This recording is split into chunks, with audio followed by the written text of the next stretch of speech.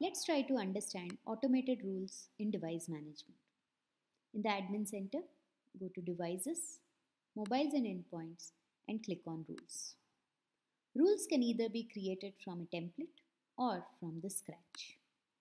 There are three templates which are available.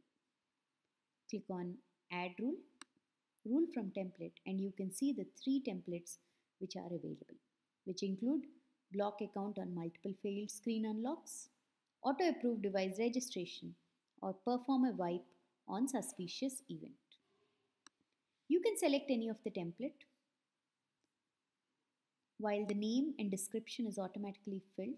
Scope is something that you need to define based on your organization requirement, whether to apply it for the entire organization or to specific OUs or groups. The triggers and conditions are auto-filled. You can also explicitly define specific device types.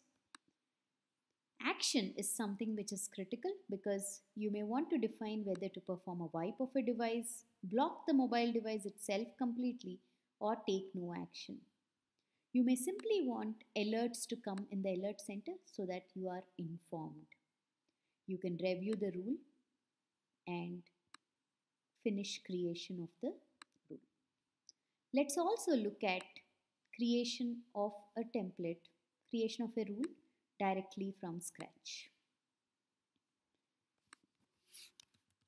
I'm giving the test name, define the scope and you can observe that there are many more trigger points which can be in the form of a policy sync event, device action event, application change, device compromise, any suspicious activities.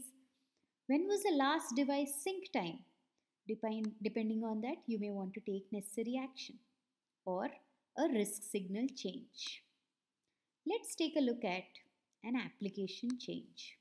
That is, whenever an application is found suspicious or any malware is detected, you may want to take necessary action. So I choose an application state and define it as to installed on, started on, deleted on or detected as potentially harmful. It's also necessary to define the device type before finishing the rule. So I get into device type. You want to define whether you want to apply it for all devices or just for Android or iOS. And you click on continue. Select the actions review your rule and finish creating the rule.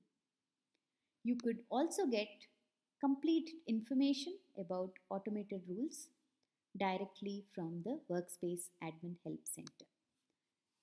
The complete information about templates as well as different trigger points are explained in detail. Happy creating rules!